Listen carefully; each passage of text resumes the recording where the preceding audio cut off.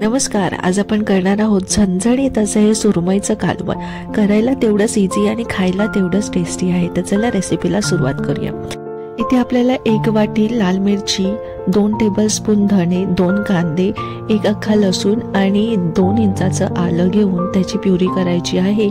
आणि ओल्या नारळाचं खोबरं जे आहे त्याचं बारीक वाटण करून घ्यायचं आहे. आता इथे फोडणीसाठी मी दोन टेबलस्पून तेल ॲड केलं आहे. तेल गरम झालं की कढईत आपल्याला सात ते आठ कढीपत्त्याची पानं आणि पाव चम्मच हिंग टाकून ते सगळं व्यवस्थित मिक्स करून घ्यायचं आहे. त्यानंतर एक बारीक चिरलेला कांदा आपल्याला सॉफ्ट होईपर्यंत परतून घ्यायचा आहे. आता या स्टेजला आपल्याला दोन बारीक चिरलेले टोमॅटो ॲड करायचे आहेत आणि अर्धा चम्मच हळद टाकून ते अगदी सॉफ्ट होईपर्यंत परतून घ्यायचं आहे. खोबरं इथे मी नुसतंच वाटून घेतलं आहे ह्यात कुठलेही मसाले ॲड केले नाही आहेत खोबरं अगदी बारीक आपल्याला वाटून घ्यायचं आहे.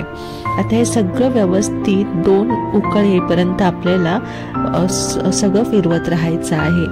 आणि त्यानंतर जे आपण धणे आणि मिरची आलं लसूण आणि कांदा जे वाटून घेतलं ही पेस्ट जवळपास चार ते पाच चम्मच ह्यात ॲड करायची आहे. आणि आपल्याला इथे कोकमा ॲड करायचे आहेत. चार ते पाच कोकमा आपल्याला इथे ॲड करायची आहेत. जेव्हा कधी आपण मच्छीचं कालवण किंवा मच्छीची काही रेसिपी करत असतो तेव्हा आपल्याला कोकमाचा आवर्जून इथे वापर करायचा आहे. त्यामुळे आपल्या ग्रेव्हीला आंबटपणा येतो. आता ह्यात आपल्याला चवीपुरतं मीठ टाकून हे सगळं झाकून ठेवून अगदी ड्राय होईपर्यंत हा मसाला आपल्याला फिरवून घ्यायचा आहे.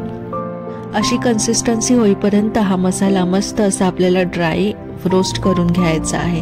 वाटल्यास थोडंसं कमी आपल्याला लाल तिखट वाटलं की लगेचच त्यात आपण ॲड करू शकतो.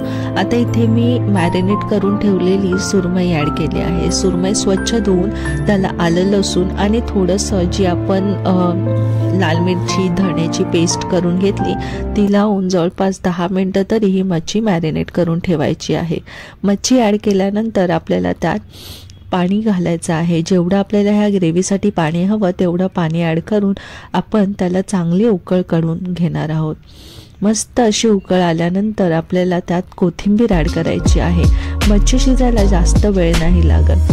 मस्त अशी ही मच्छी खायला तेवढीच टेस्टी लागते आणि बनवायलाही इझी आहे.